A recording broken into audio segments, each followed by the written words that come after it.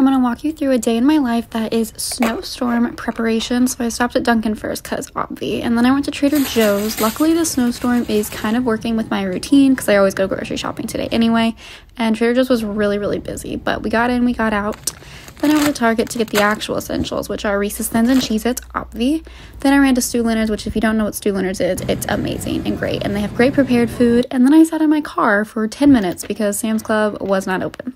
But then it did open, so I got some fruit, some rotisserie chicken, put all my groceries away, ate pizza from last night, and now I'm gonna wait for the snow to start.